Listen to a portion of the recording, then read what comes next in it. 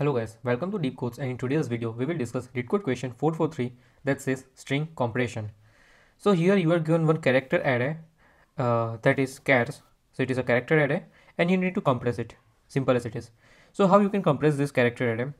The thing is that uh, you start, you will start with empty string s and you will find group uh, that contains consecutive repeating characters.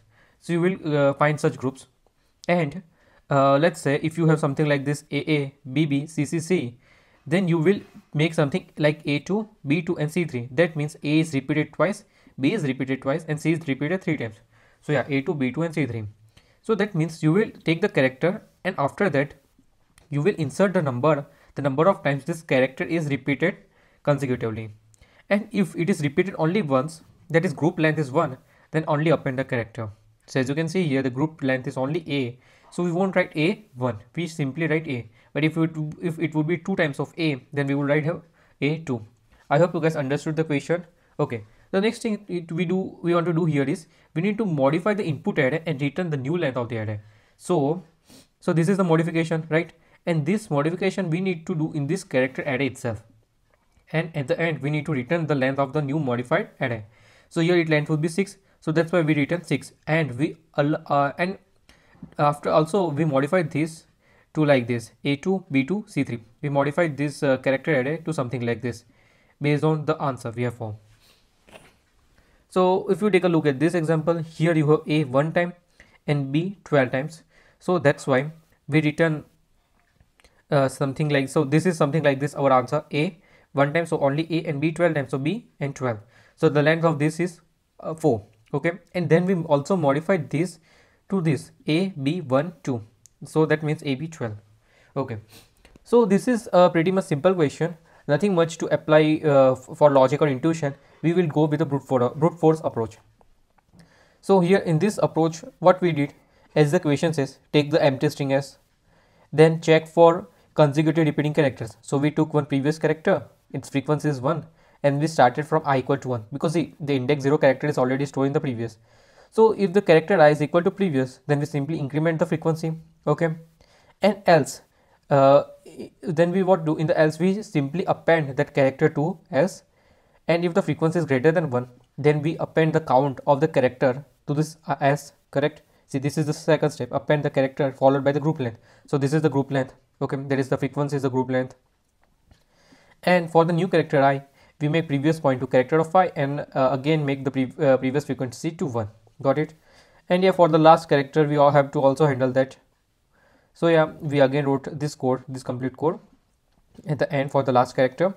And then as the question says that we need to modify uh, this input character chars input vector chars so this modified input array input character array. So what we did we uh, we first clear all the elements. And then in our s this s contains our answer something like this a2 b2 c3 so we push each character of this s into these characters like this. So we make chars to something like this okay? A comma 2 comma b comma 2 comma c comma 3 based on this. So yeah and at the end we return s dot size that is the size of the string s. So this is uh, pretty much brute force approach.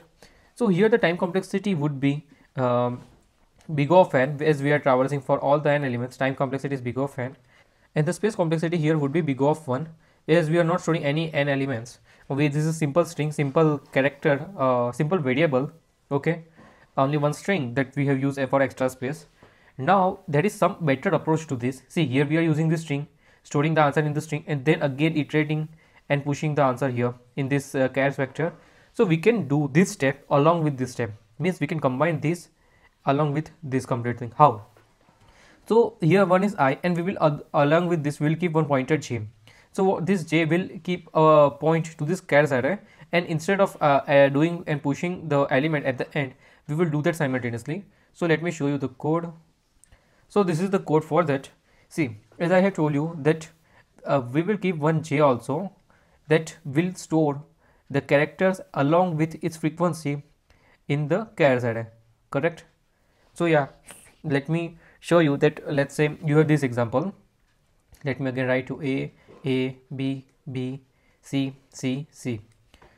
So here we first we will traverse how many times A is repeating. A is repeating two times. So this count become what? This count become two. Then what we do? We push character of 0 equal to letter the letter is what the letter is a then what we do then we read j plus plus see this is uh, postfix increment postfix increment yeah so at character of 1 what we will push? We will push the first character of the count. The first character of the count is 2 okay. See here we are traversing this uh, count by converting it to to_string. So if our count would be let's say 12 so the first we will push a1 and then 2 simple as it is. Nothing complex here. Okay. Then we will again traverse right for the next character. So for the next character is b. So we will push character of 2 equal to b and then uh, we will again push the count count is 2 so we will again push 2 so this is why we will loop until all the characters of this characters array are not uh, traverse right? And the last element pointing would be uh, the jth element correct? Because by using this j pointer we are storing into the characters this character array. We are simply modifying this character array using this j. So what what would be the size of this j? What would be the size of this character so this character size would be as uh, the j value of the j because this is a pointer right? So yeah here what we did we modified this we did this modify the input array. Along with that we also we uh, also did this append the character followed by the group length we did both the thing at once.